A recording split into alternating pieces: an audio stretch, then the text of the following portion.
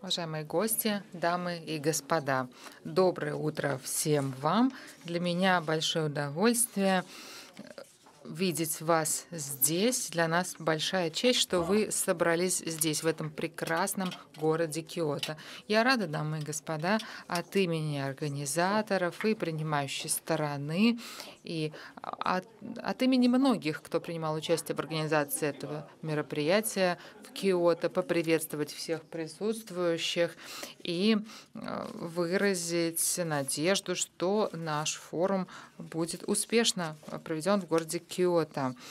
Перед лицом таких динамичных процессов, таких интересных аспектов, которые происходят в нашей э, жизни сегодня, способность интернета адаптироваться и становиться катализатором устойчивого экономического развития, думаю, тут все согласны, никогда не был столь важным, как сейчас. И он лежит в основе решений, обсуждений, решений, которые мы пытаемся найти, инновационных решений, новых возможностей для того, чтобы двигаться вперед на пути роста, благосостояния, э, солидарности и сотрудничества. Дамы и господа, это мысли, которыми мы хотели бы с вами поделиться на церемонии открытия, на первой сессии в этом основном зале 18-го форума управления интернетом. И э, модератор э, для меня это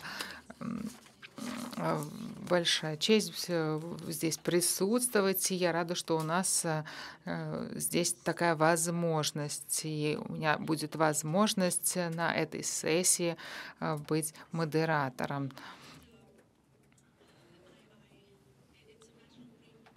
Я горжусь тем, что у нас здесь сегодня участвуют восемь тысяч делегатов из 170 э, стран со всего мира.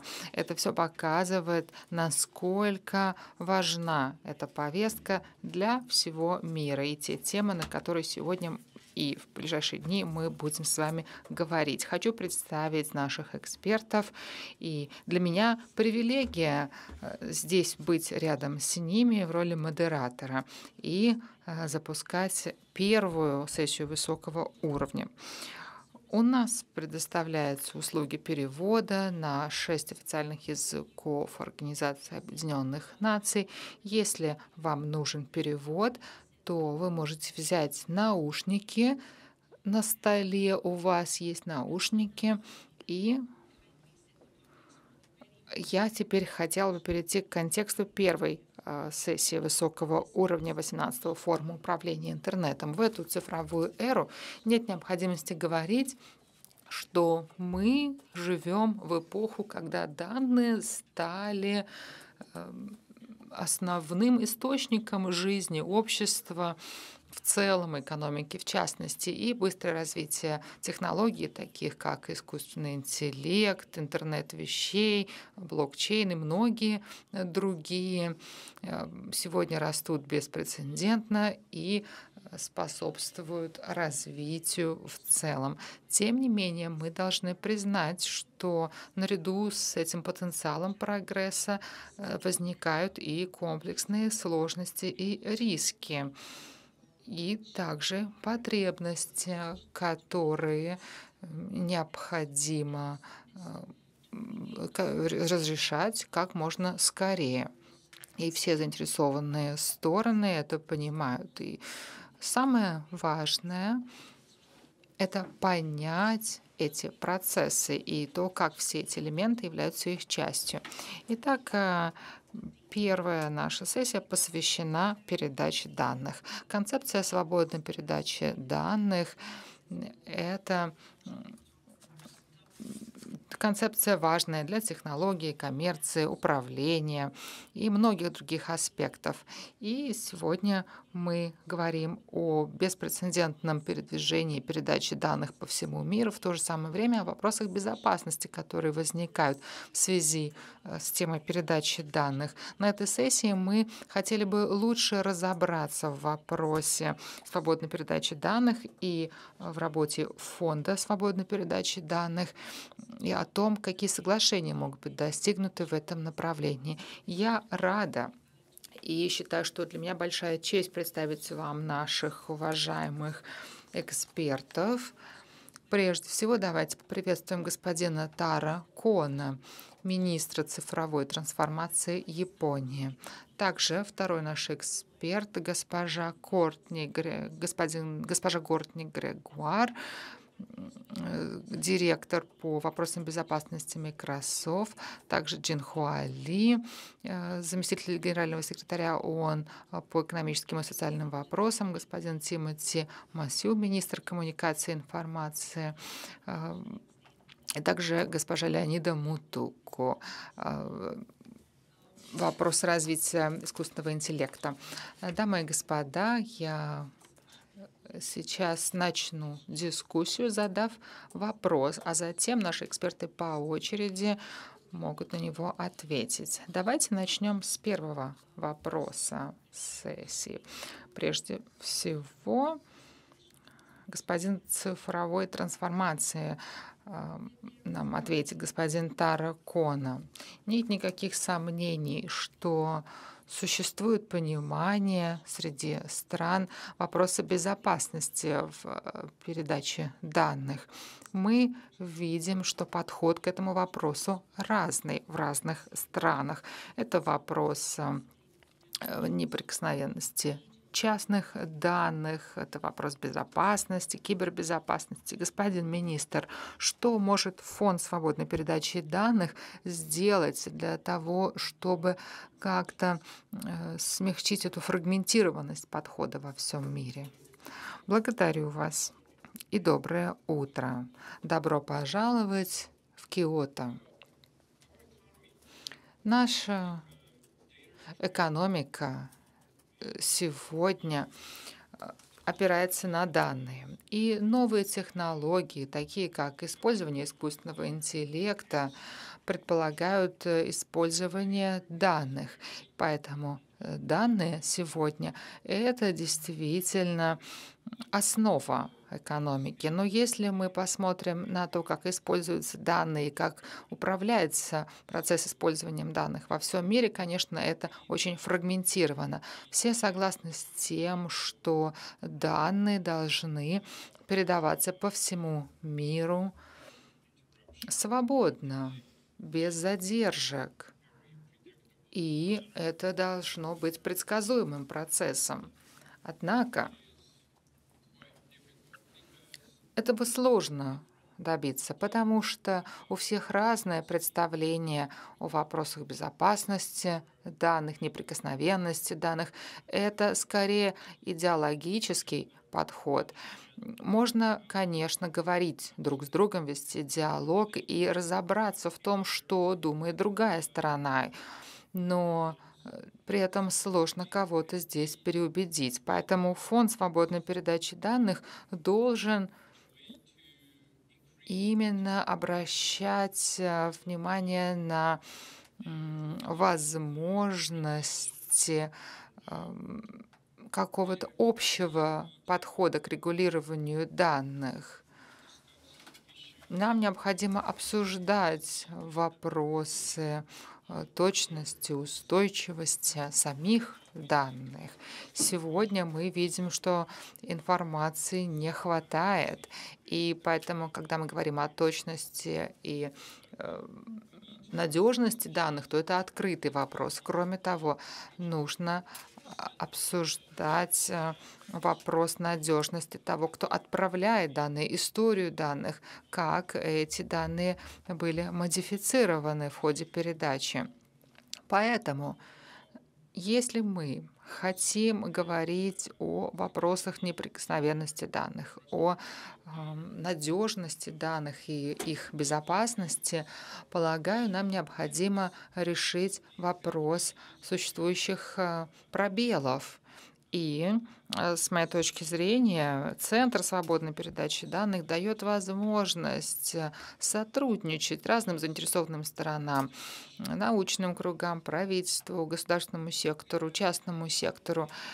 Мы наблюдаем, что существует множество форумов, на которых обсуждаются вопросы данных, но они скорее секторальные.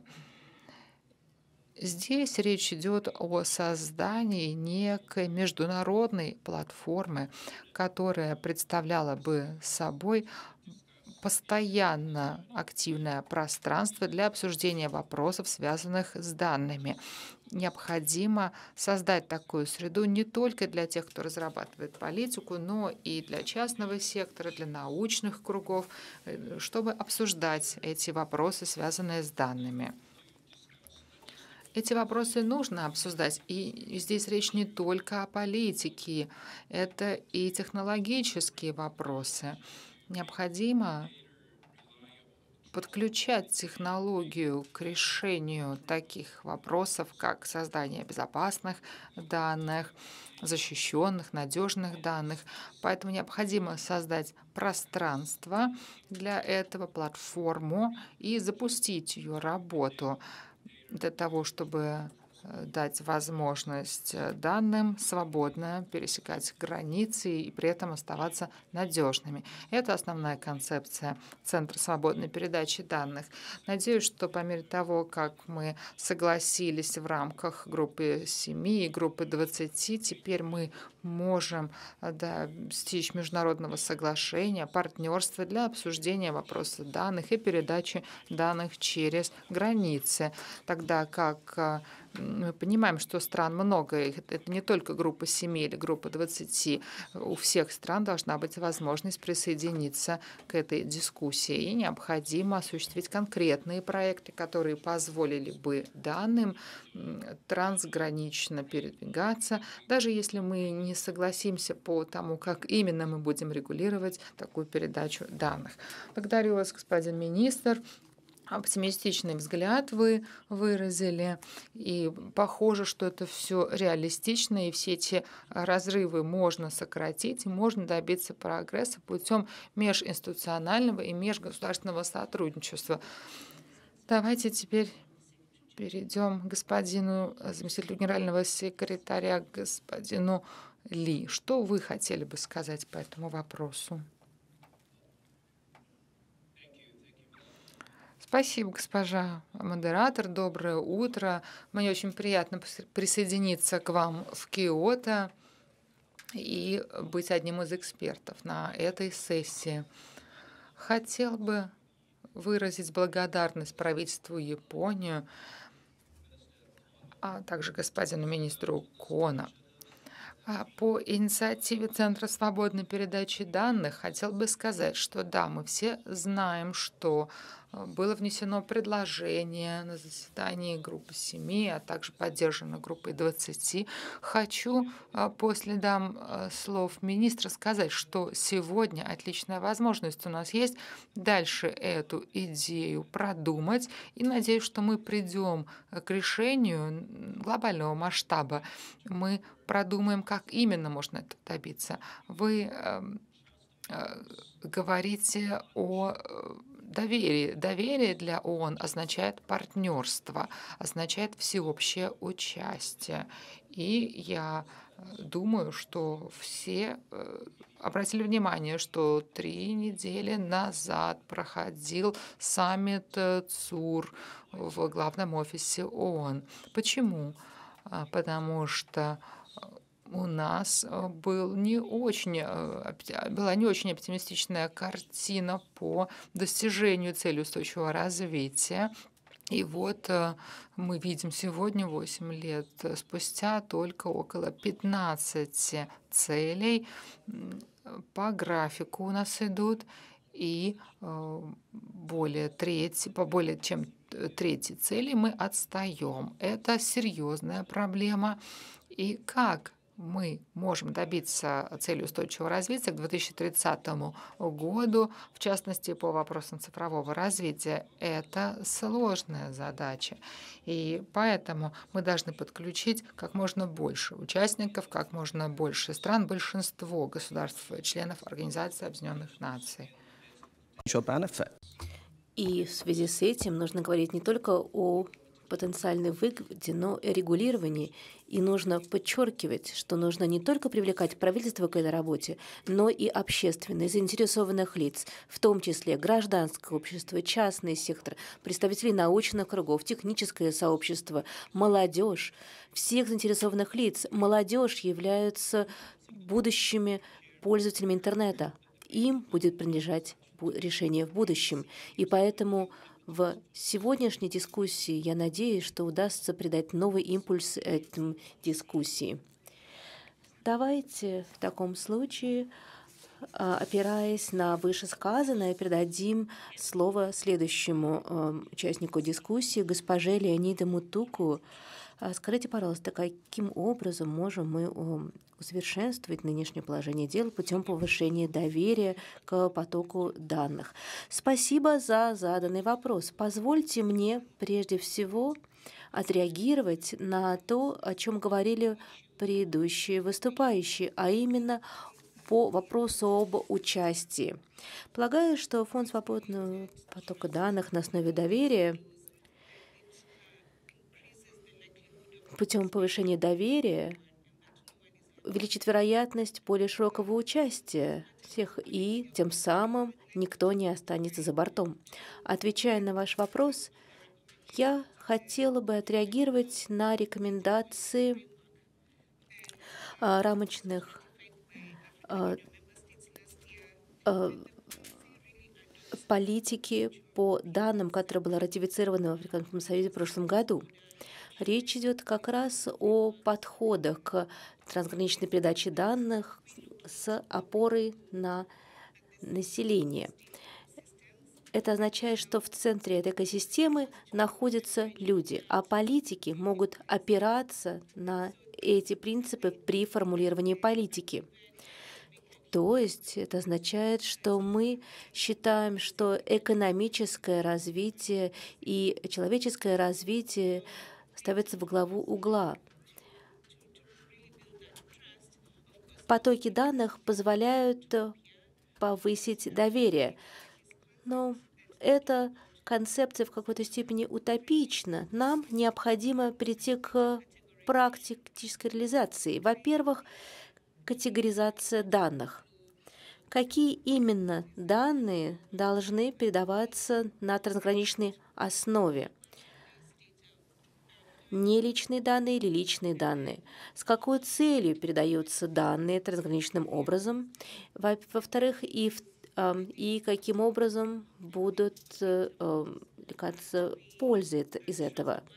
Во-вторых, для того, чтобы э, было достойное доверие к передаче данных, необходимо, чтобы поток данных был двухсторонних, и с одной стороны в другую, и обратно. Ну и, наконец, качество самых э, передаваемых данных, потоков данных. Да, нам необходимы высококачественные данные. Данные, которые можно использовать в разных секторах – да, есть стандарты, которые уже были приняты в рамках партнерства по открытому управлению. Благодаря наличию высококачественных данных можно повысить степень доверия, тем самым повысить участие, и это позволит нам не усугублять существующую дискриминационную практику в отношении тех или иных групп населения, которых представлены этими данными. Большое спасибо, а, госпожа а, Мутуку, за а, ваши замечания. Госпожа Куртню Григуара, вам слово представитель Microsoft. Microsoft активно поддерживает спос... По свободной потоке данных на основе доверия. И хочу тепло поблагодарить Японию за то, что вы возглавляете эту инициативу. Как бывший премьер-министр Аби сказал в декларации группы 20, трансграничный поток данных, идей, информации, знаний приводит к повышению производительности труда, повышению инновационности и укреплению устойчивого развития. Однако перед нами стоит очень важный вопрос, каким образом помочь всем понять, чем ценны свободный поток данных на основе доверия. И что такое доверие? Это основополагающая концепция. Все граждане мира должны знать, что наши данные передаются защищенным образом, и наши наиболее чувствительные данные будут защищены.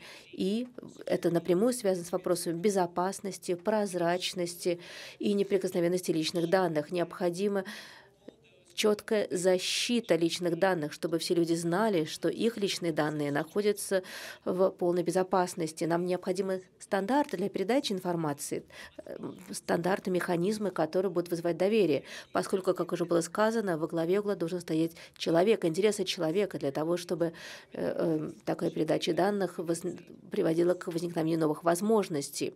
И нам необходимы четкие правила для регулирования доступа правительств к этим данным. Мы знаем, что доверие можно построить на основе многостороннего сотрудничества, когда все те, кто заинтересован в этом вопросе, могут принять участие в дискуссии и знать, что их интересы будут соблюдены. Мы знаем, что в конечном итоге э, международные механизмы ставят перед собой задачу обеспечить э, объединение заинтересованных лиц и создать такие рамки с тем, чтобы все пользователи знали, что они могут доверять к этой работе, и что эм, это этот процесс будет учитывать их интересы. Да, еще много предстоит сделать, но необходимо при этом опираться на принципы, которые уже были здесь озвучены. Вопрос в том, каким образом будут данные использоваться в будущем для того, чтобы обеспечить большую безопасность и обеспечить лучшую защиту личных данных. Что это будет означать на практике для того, чтобы добиться э, прогресса по вопросам экологической устойчивости, вопросов планетарного здоровья и более равного распределения экономических возможностей возможности, вот все, к чему э, может привести более свободный поток данных на основе доверия. Да, конечно, говорит ведущая, мы с... есть чаяния, которые э, сталкиваются с определенными препонами. Но среди этих препятствий одним из ведущих является неравенства и между заинтересованными сторонами, и между странами. Одной из основ повестки дня под ЦУР является сокращение неравенства между странами. Это ЦУР-10. Свободный поток данных э, на основе доверия очень важен с точки зрения развития, э, поскольку данные являются, если хотите, кровносным потоком современной экономики. Да, экономика опирается на большие объемы данных, а развивающиеся страны, у которых маленькое население относительно, могут оказаться естественным образом в неблагоприятном положении в связи с этим. Ответственный свободный поток э, данных может помешать этому эм, отсутствию сбалансированности. Как это сделать? Да, я считаю, что это прекрасный вопрос. многие, в том числе министр, ваша министр говорила, что да, действительно, мы живем в эпоху экономических возможностей, которые определяются потоком данных. И если говорить об этом разрыве с точки зрения равенства, нужно задать вопросом, где лежат возможности будущего исследование 2020 года показало, что примерно а, половина трансграничной торговли определяется цифровой связностью. Если говорить об экономическом росте стран в будущем, особенно в том, что касается роста малых и средних предприятий, они в большой степени зависят от двустороннего потока данных. Именно это ключ к экономическому развитию будущего. Нам необходимо четко проанализировать сегодняшнюю ситуацию. Да, поток данных осуществляется, но односторонним образом. И это э, приводит к тому, что не все экономические возможности реализуются. Да, мы знаем, что инновация опирается на свободный поток данных на основе доверия. Инновации, экономические возможности будут открыты для всех тогда, когда э, будет поток данных осуществляться в глобальном контексте на равноправной основе. Поэтому мы должны э, подходить к этому именно с точки зрения равноправия. Говоря о равноправии, нужно говорить не только об экономических возможностях, но и о социальных возможностях. Что это означает с точки зрения глобального здоровья населения? Действительно, пандемия коронавирусной инфекции стала огромным источником инноваций, потому что показала нам, в какой степени поток данных позволяет нам добиться не только экономических инноваций, но и инноваций в области здравоохранения. Вы только представьте себе, что это может значить с точки зрения решения проблем глобального неравенства, э, которые э, существуют уже много-много лет и кажутся практически неразрешимыми. Это практическое применение с точки зрения данных что может означать такой поток данных с точки зрения жизни людей, с точки зрения будущих экономических возможностей, будущего экономического роста. Это звучит эзотерично, но на самом деле это очень практичные э, замечания. А, господин Скура, вы могли бы что-то добавить к вышесказанному? Благодарю вас. А, когда я задаюсь вопросом о том, как решать проблему неравенства, я формулирую это следующим образом. Что это значит э, с точки зрения неусугубления? Данные извлекаются и передаются из одной юрисдикции в другую. После того, как эти данные пересекли границу, кто проводит обработку данных? Понимают ли они контекст? Понимают ли они все нюансы, связанные с тем, каким образом эти данные были собраны? Каким образом может это способствовать решению проблемы неравенства. Каким образом это означает участие в процессе обработки данных тех, кто понимает контекст, кто понимает э, все нюансы, связанные со сбором данных, и то, какое значение эти данные имеют для той юрисдикции, в которой эти данные были собраны. Это во-первых. Во-вторых, э, подход, который э, можно охарактеризовать как дефицитарный подход. Я проводила исследования в области искусственного интеллекта. Вопрос следующий. Нужны ли нам все эти данные? Нам необходимо очень осторожно подходить к вопросу того, каким данным можно иметь доступ и какие данные можно использовать для принятия тех или иных решений. Если данные значимы? Имеет ли значение, каким образом эти данные собирались в населении. Вопрос в том, как эти конкретные данные будут использоваться для принятия решения. Хочу привести конкретный пример. Например, данные по языку. В системах будущего будут представлены языки с наибольшим объемом ресурсов. Но если есть э, другие, которые не принимают участие в обработке данных, то тогда э, мы сталкиваемся с отсутствием контекста, с неправильным переводом. И, соответственно, когда мы говорим о потоках данных, в конечном итоге именно пользователи данных могут повысить качество этих данных. Для этого необходимо, чтобы они принимали участие в обработке данных. Это может позволить решить множество вопросов. Благодарю вас. Следующий мой вопрос э, господину Ли, потом уже всем остальным участникам дискуссии. Если говорить о прогрессе в достижении ЦУР, для этого необходимы высококачественные дезагрегированные данные. Естественно, необходимо картирование различных инициатив для достижения этих целей. Но какой степени может отслеживание потоков данных на основе доверия может быть важным с точки зрения экологического сотрудничества, эм, отслеживания состояния экосистем и для большего сотрудничества в достижении ЦУР?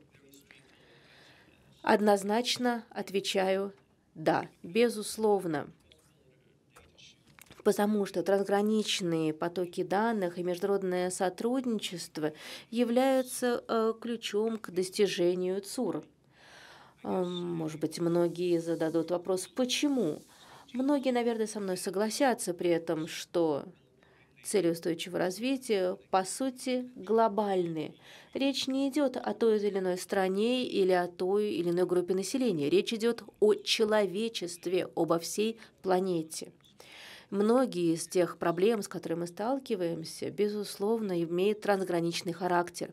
Они по определению глобальны. И это означает, что естественным образом нам необходимо международное сотрудничество и обмен данными для того, чтобы отреагировать на эти вызовы. А мониторинг обмена данным очень важен для того, чтобы решение, для того, чтобы принять решение этих трансграничных проблем. Мы говорили только что о неравенстве, о цифровом разрыве. Говорили о том, что они существуют как между странами, так и внутри самих стран. Одной из самых сложных проблем сегодняшнего дня является следующее. Каким образом мы политическим образом можем сократить разрыв в предоставлении качественных данных. Как сделать так, чтобы обеспечить трансграничный поток данных с тем, чтобы это легло в основу международного сотрудничества. Мы в ООН, конкретно мой а, департамент МКСОС, мы, безусловно, уже 70 лет занимаемся оказанием помощи государствам-членам, а, наращиваем потенциал этих стран в различных форматах и в том числе в области сбора данных, использования данных, обмена данными, использования данных. Вот совсем недавно мой департамент а, создал а, глобальный цифровой договор по ЦУР для того, чтобы источники данных из всех учреждений ООН поступали сквозным образом от всех эм, ведомств, учреждений, агентств ООН. А трансграничный обмен данных способствует обмену знаниями и обмену информацией. Например, в области сокращения рисков стихийных бедствий нам необходима система раннего предупреждения.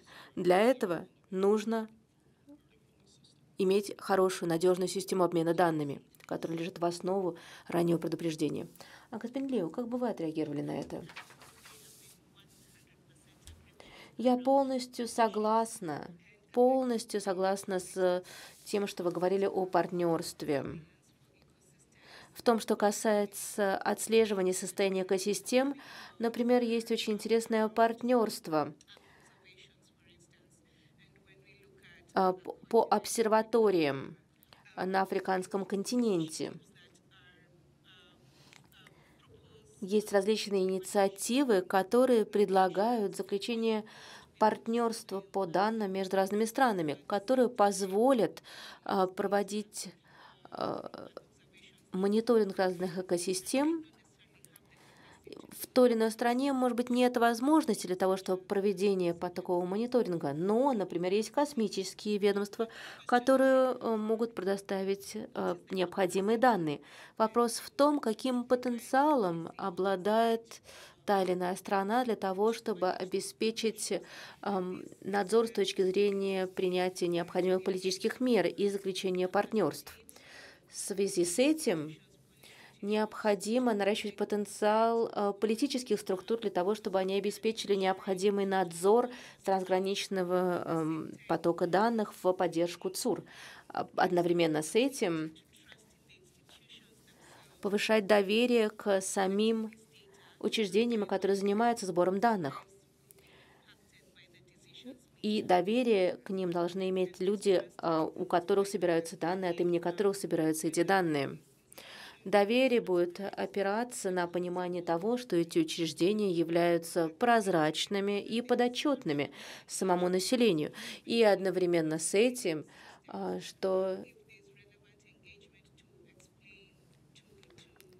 если создается система массового надзора, то тогда необходимо объяснять населению, с какой целью собираются такие массовые данные, что они необходимы для того, чтобы составить тот или иной показатель, и это может стать основой доверия. ЦУР ставит перед собой задачу решения многих социальных проблем, которые имеют сквозной характер. Это означает, что э, затрагиваются разные наборы данных, которые собираются в разных секторах и с разными целями. Например, если речь идет о скажем, вопросах, которые касаются женщин или некоторых организованных групп в области здравоохранения, питания, энергетики и так далее, то тогда возможно создать партнерство, которое позволит сквозным образом решать проблемы на основе данных, которые были собраны в разных областях, и коллективным образом добиться выполнения ЦУР. Скажите, пожалуйста, мисс Григуар, каковы ваши мысли по этому поводу? Я, возвращаясь к нашему разговору до начала этого заседания, а, мы говорили о влиянии изменения климата на нашу жизнь для всех во всем мире. И возвращаясь к этому важному вопросу, он действительно лежит во главе угла. Чем здесь могут помочь данные, как они могут помочь переходу к устойчивому развитию? Microsoft э, очень много вкладывают э, в это направление на протяжении многих лет. И что здесь могут сделать данные, чем они могут помочь? Мы можем э, посредством мер политики, инвестиций, укрепить э, наши системы, в том числе систему энергетики. Во-первых, э, это можно сделать э, посредством укрепления нашего вклада в в цели устойчивого развития. Это так называемый подход, основанный на данных. Э, затем у нас есть возможности отслеживать динамику в области возобновляемых источников энергии. Но в конце концов, самый актуальный вопрос здесь, пожалуй, это адаптация к изменению климата.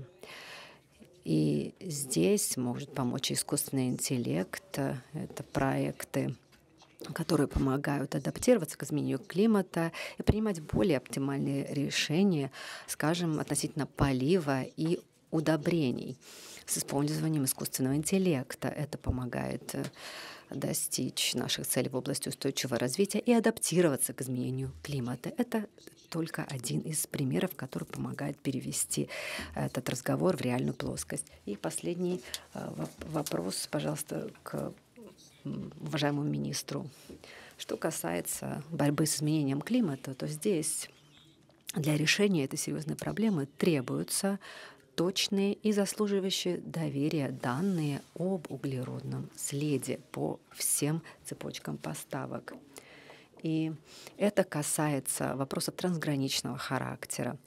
Нужно сделать так, чтобы данные собирались и измерялись точно, чтобы цифры подсчитывались точно, чтобы а, был обеспечен, обеспечена защита данных, э, была обеспечена оперативная, операционная э, совместимость данных. И для того, чтобы выполнить проекты в области целей устойчивого развития, необходимо сотрудничество между странами, необходим обмен данными, а, необходимо обеспечивать точность данных, их достоверность и э, защиту от несанкционированного доступа. Опять же, повторяюсь, необходима операционная совместимость таких данных. Поэтому важно учитывать это обстоятельство по всем ЦУР. Спасибо. Возвращаясь э, к тому, о чем говорили уважаемые участники дискуссии, мы понимаем актуальность этого вопроса, особенно если мы посмотрим на недавнее будущее, в частности на пандемию COVID-19, это стало тревожным звонком для всех, для всех стран, для всех организаций. И мы много уже об этом говорили, что необходимо решать вопросы, в том числе а, при помощи данных. И вот на фоне пандемии передача данных сыграла ключевое значение а, в том, что касается смещения последствий а, пандемии и учитывая важность эм, обеспечения здоровья и благополучия для всех повестки дня в области устойчивого развития. Каковы, по вашему мнению, возможные сценарии по обеспечению заслуживающего доверия передачи данных? Спасибо говорит госпожа Леонида Мутугу. Хочу привлечь ваше внимание к системам надзора, которые используются в африканских странах как минимум по, э, в области здравоохранения. В частности, это инструмент, который позволяет странам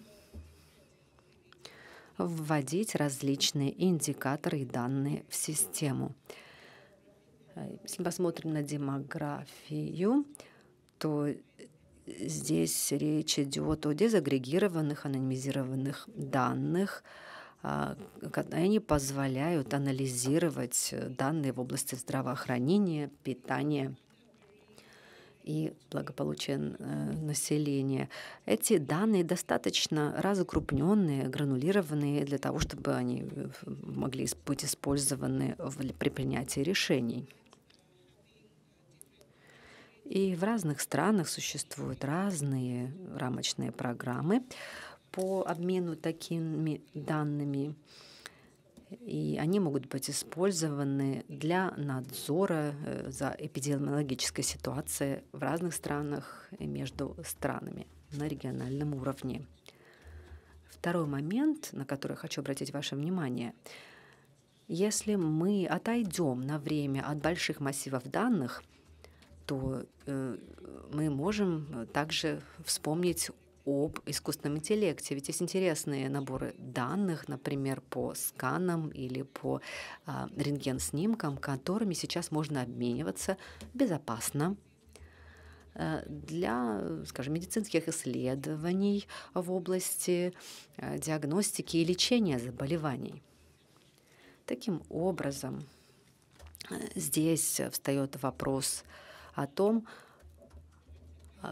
как мы можем удостовериваться в том, что эти данные используются надлежащим образом, а также какие дивиденды, какую пользу могут э, извлечь владельцы таких данных э, по мере того, как эти данные используются в разных странах.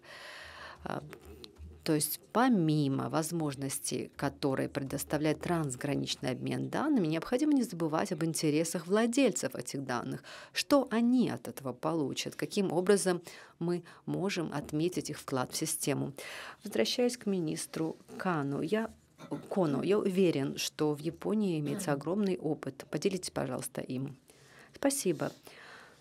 На фоне пандемии COVID-19 для проведения анализа э, собственно, пандемии, разработки вакцины, развертывания программы вакцинации и иммунизации были необходимы данные, данные по данной тематике. Поэтому мы вынуждены были увеличить емкость наших компьютеров, которые используются для анализа таких данных, и, возможно, в будущем возникнет еще какая-нибудь еще пандемия, и нам необходимо быть готовыми к ней.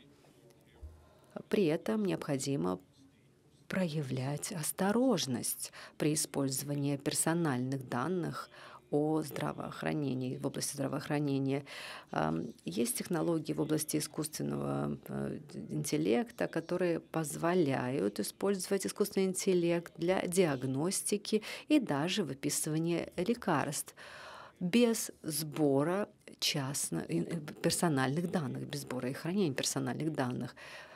А, лица, принимающие политические решения, не всегда хорошо осведомлены э, о всех новых технологиях. Поэтому очень важно, чтобы директивные органы общались с инженерами, с экспертами, специалистами, представителями научно-академической среды и проводили такие дискуссии относительно новинок на рынке технологий, чтобы они были в курсе новейших разработок, с тем, чтобы политики, лица, принимающие политические решения, понимали, какие технологии уже существуют и как их можно применять по конкретным направлениям. Поэтому очень важно, чтобы и государственные, и негосударственные заинтересованные стороны обсуждали эти вопросы вместе. И это особенно важно для проектов, связанных с общественным здравоохранением. Спасибо, господин министр. А, следующий вопрос господину Ли. Пожалуйста, а, расскажите о том, а, о ваших взглядах на этот вопрос. Здесь я хочу сказать о том, что если у нас будут участвовать в этом процессе все все заинтересованные стороны э, в том, что касается свободного потока данных на основе доверия, то, конечно же, повысится в целом эффект. Госпожа Кортни Григуар, а, я согласна, и на самом деле пандемия, эпидемия COVID-19 а, выступила стимулом для многих организаций, которые были вынуждены изменить свой подход и использовать иммерсивный обмен данными в интересах общественного здравоохранения. И а, это делалось с учетом защиты личных данных, как отметил господин министр, что это очень чувствительная тема, а, тема, вызывающая максимальную озабоченность у пользователей что означает обмен данным, как это будет влиять на неприкосновенность частной жизни, влияет ли это на будущий доступ к системе здравоохранения, на возможность получить необходимое лечение. Иными словами, защита личных данных да, должна стоять э, в самом центре этих усилий. Поэтому требования, которые при, э, применяются к обмену личными данными, конечно же, и в том числе и замедляют прогресс в области исследований.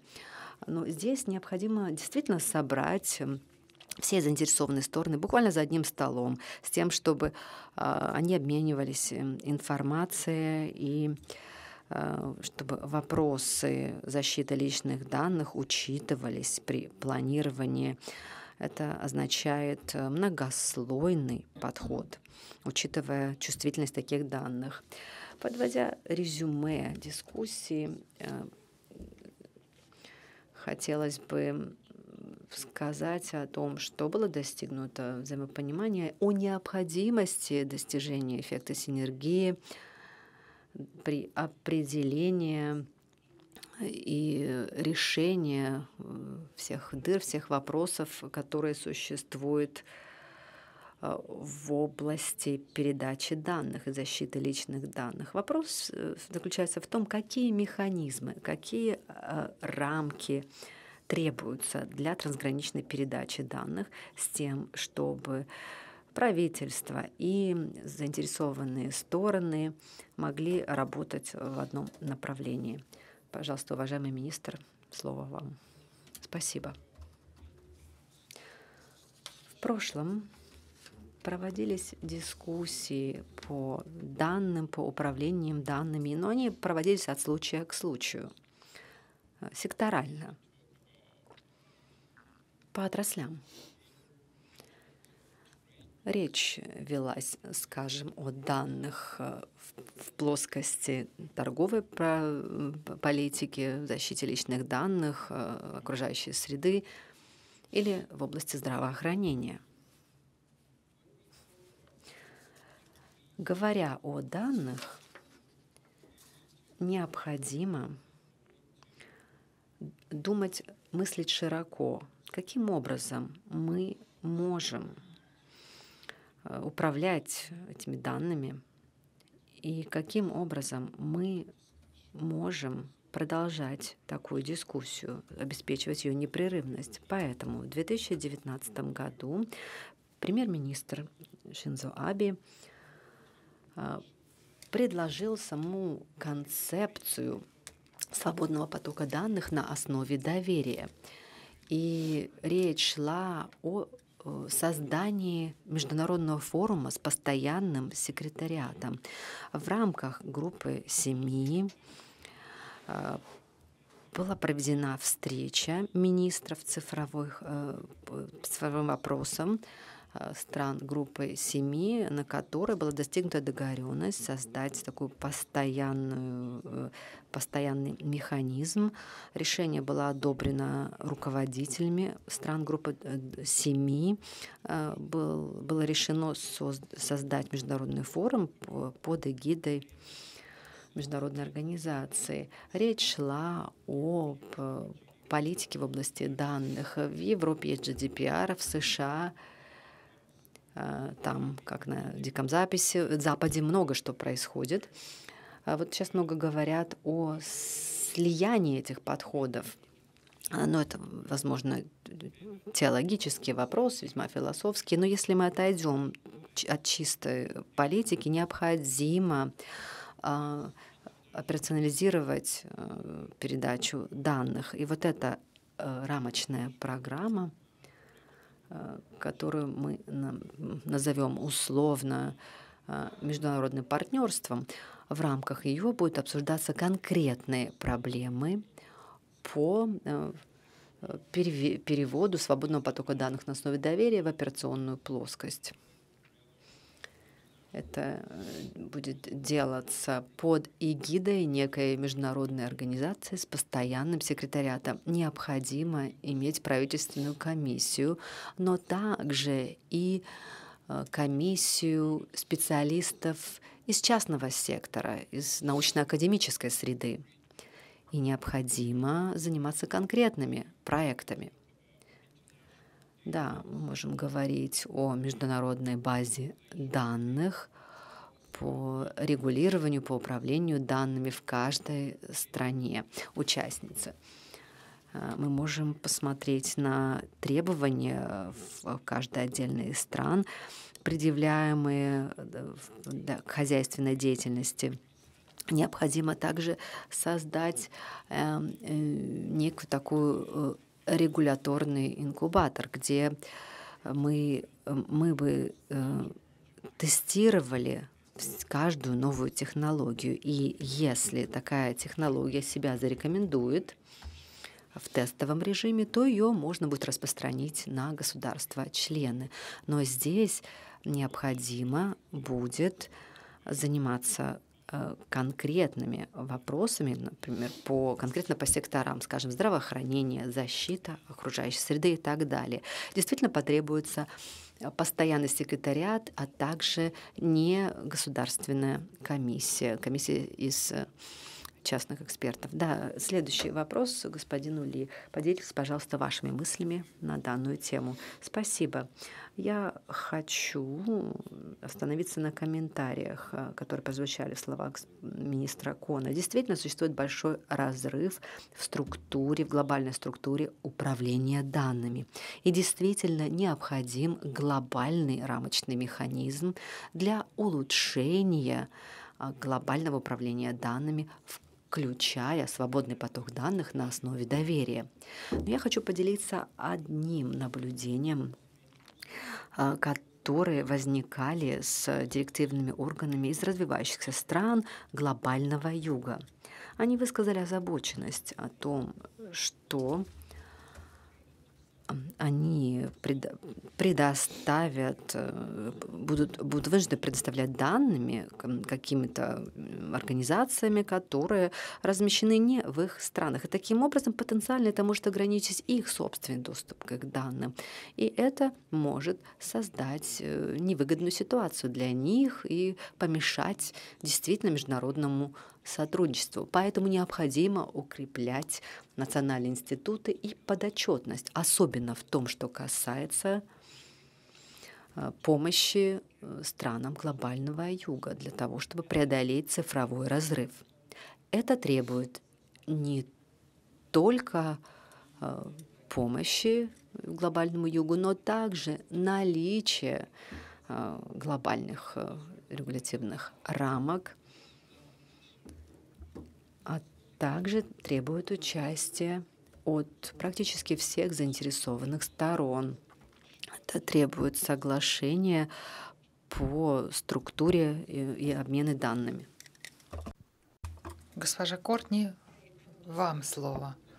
Я тоже хотела бы согласиться с тем, что было уже очень хорошо сказано до меня. Сокращение существующих разрывов и понимание этих разрывов важны для достижения целей.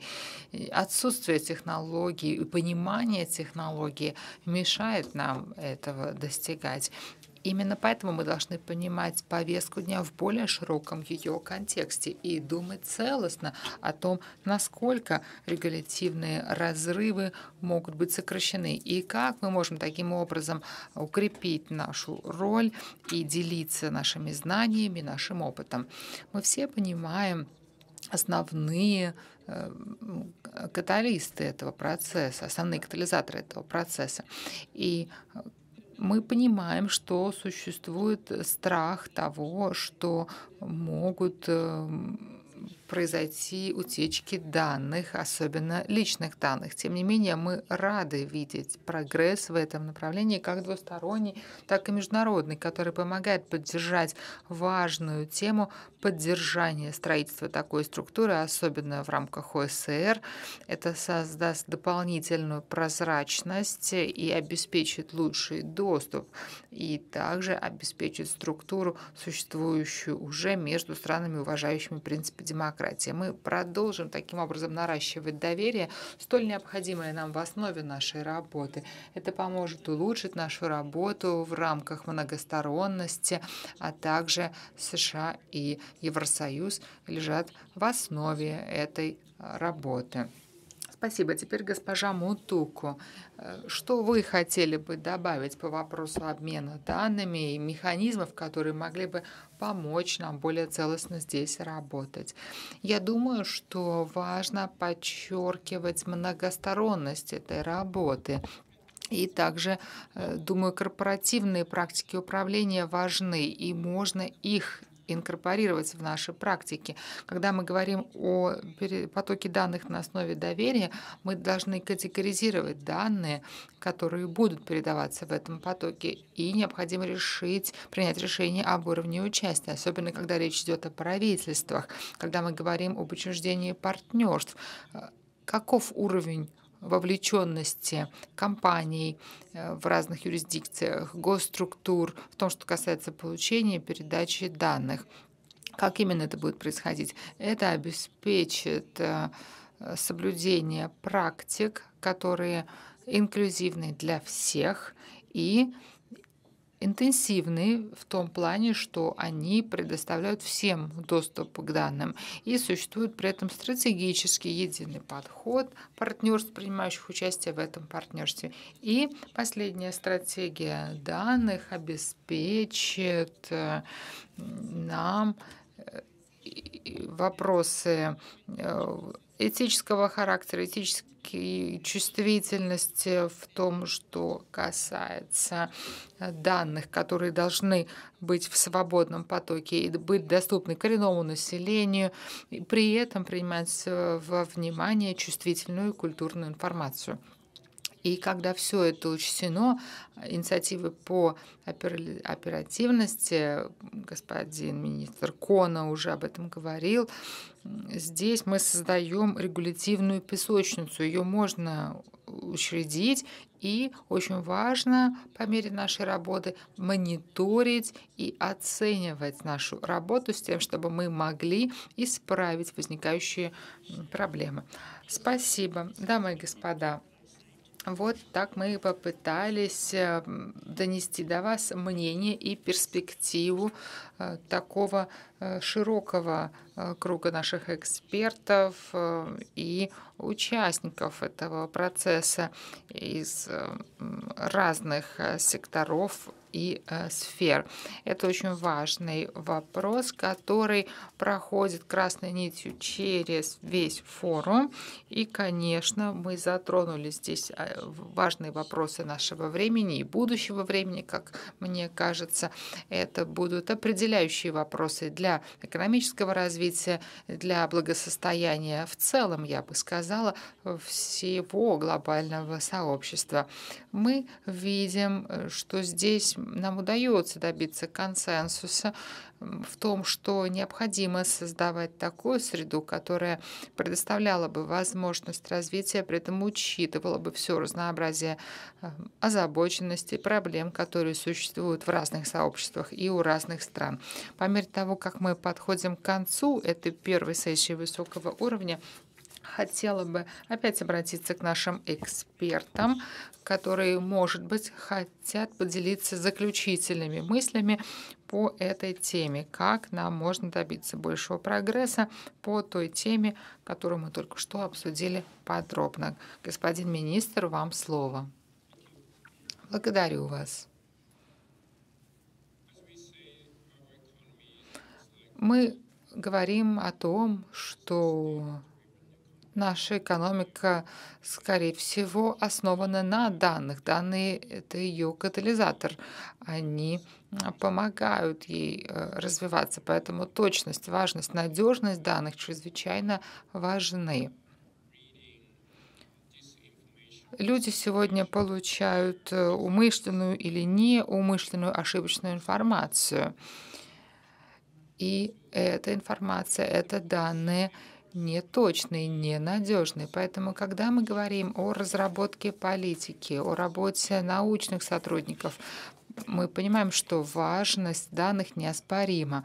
Это широко обсуждается. Обсуждаются разные вопросы в отношении данных.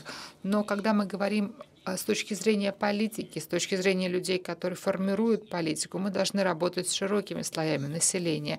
Не только обо мне речь, я думаю, это касается всех политиков. Мы все должны работать с населением, и думаю, что и частный сектор работает с населением. Когда мы это делаем, мы должны сфокусироваться на том, а, как донести до людей важность данных, важность точности, надежности и достоверности данных. Это сложно.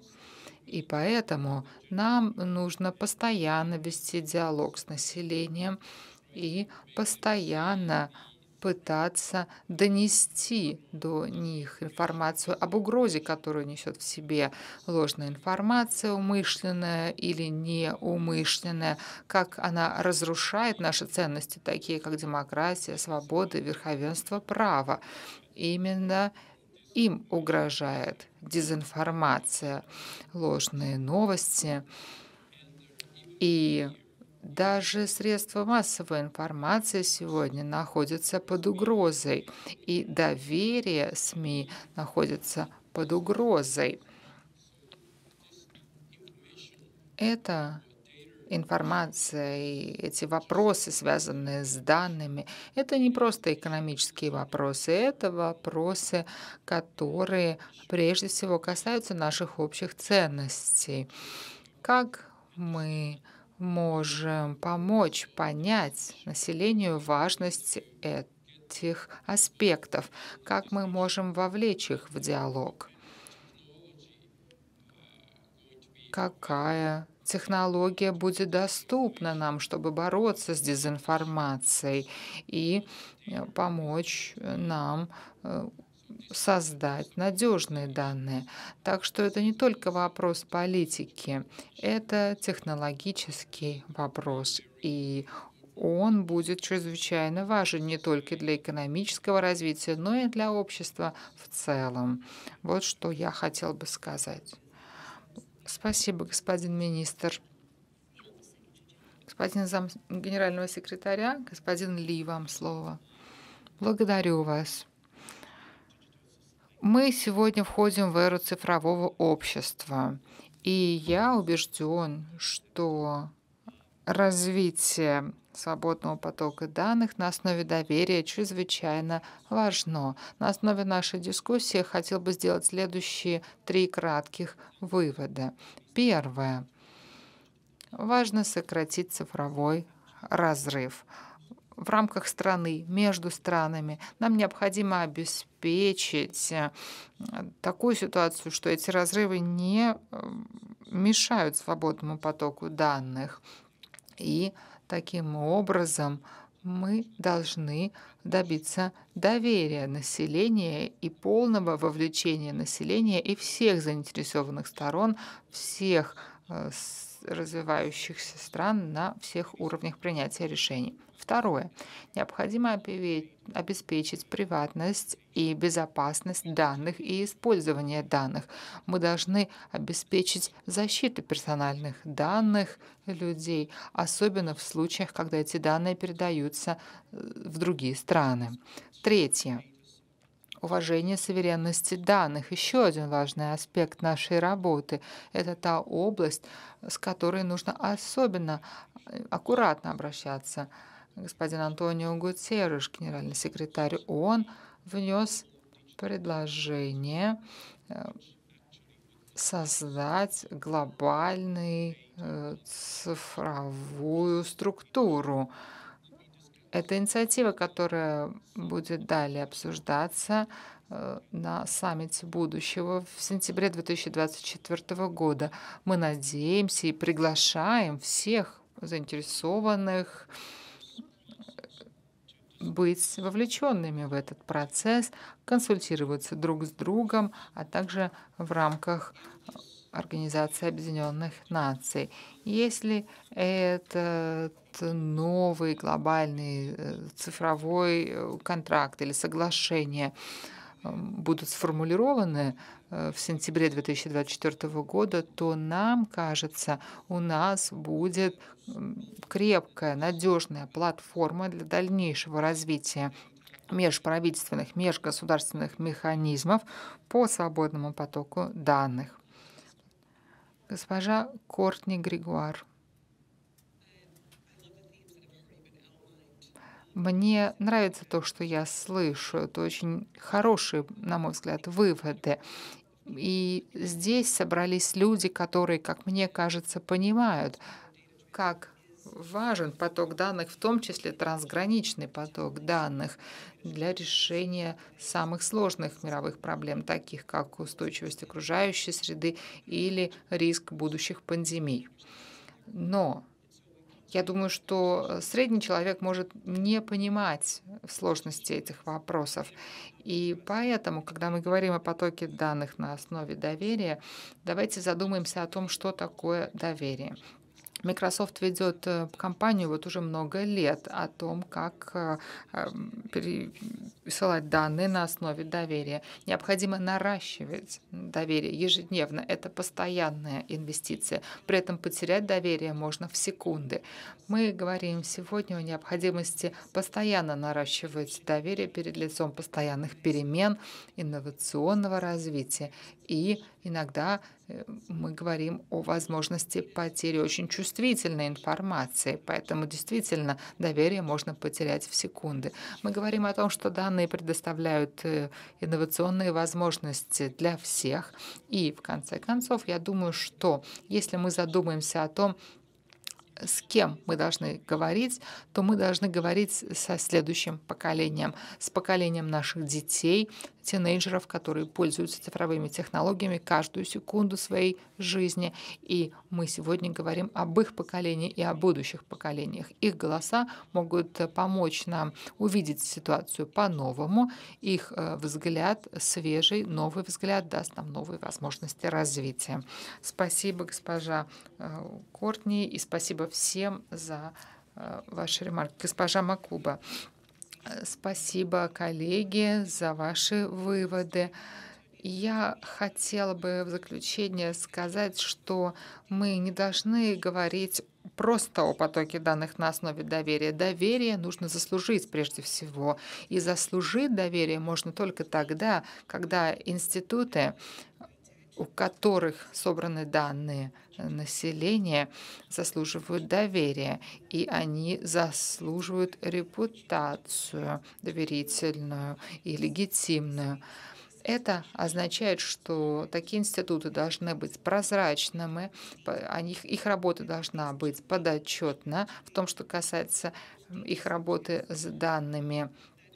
И в конце концов, такие институты должны иметь необходимый набор навыков, возможностей Э, для того, чтобы обеспечить право применения в том, что касается защиты данных. Когда этого удастся добиться, то нам будет проще заслужить доверие к э, технологиям и перейти э, дальше, на следующий этап в деле достижения ЦУР. Спасибо вам, дамы и господа. В заключение этой сессии хочу сказать, что мы заслушали очень интересные точки зрения. Обмен мнениями мне показался очень глубоким, интересным. Уважаемые эксперты, благодарю вас. Очевидно, что диалог по вопросу управления данными кажется легким на первый взгляд, но это очень комплексный многосторонний вопрос, который требует достижения баланса между потоком, свободным потоком данных и доверием. Наши эксперты только что рассмотрели с разных сторон этот вопрос, и разные подходы были здесь освещены. С нами поделились тем, как важно найти этот баланс между приватностью данных, безопасностью, а также инновационным подходом. И при этом помнить как о сложностях, так и возможностях, которые предоставляет локализация данных и свободный поток данных, а также соблюдение принципов э, приватности и защиты данных, а также прозрачности и подотчетности в достижении этой цели и э, в том, чтобы дости- добиться доверия. Хочу сказать, что заключительное слово наших экспертов э, тоже подчеркнуло еще раз важность инклюзивного многостороннего подхода подхода по мере того, как мы разрабатываем политику и структуры по развитию, которые отражают э, наши разнообразные взгляды и озабоченности разных э, стран. И важно здесь было подчеркнуть необходимость продолжать диалог, обмена передовыми практиками и инновационными решениями, при этом не забывая о ценностях, на котором построен наш мир. Благодарю вас, уважаемые эксперты, за ваше драгоценное время, которое вы посвятили нашему форуму, за ваши мысли, которые вы здесь высказали перед форумом в Киото, за э, замечательную работу, которую вы осуществляете на своих рабочих местах на основе инклюзивности, взаимопонимания и доверия. На этом у нас все по первой сессии высокого уровня. Спасибо всем присутствующим. Сессию на этом объявляю закрытой. И давайте э, попрощаемся с нашими экспертами. Попрошу вначале их э, выйти со сцены слева, чтобы сфотографироваться.